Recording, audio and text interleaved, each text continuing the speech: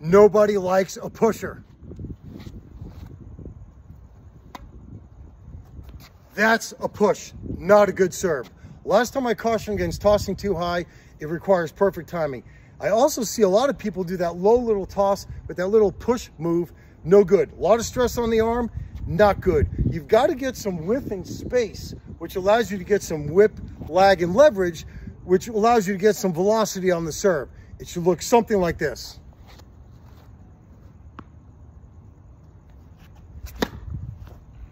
Kick on that one, Arch. Two good serves.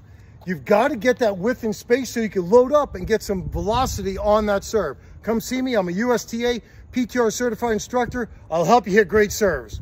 Take care.